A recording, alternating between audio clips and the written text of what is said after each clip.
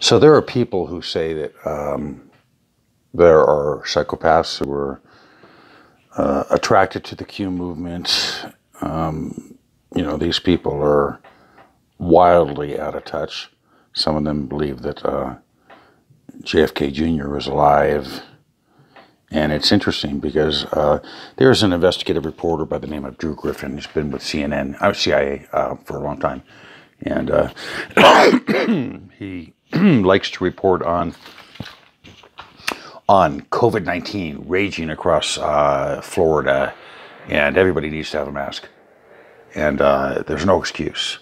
Um, but, you know, he, I guess somebody uh, anonymously um, gave him uh, a Quitter or Twitter, Quitter, Twitter uh, link to a screenshot of uh, uh, Jim Stockerson's, I mean Stewartson's um, uh, Twitter handle, and uh, you know Jim got on CNN. You know that's Jim look into the eyes of a crazy man.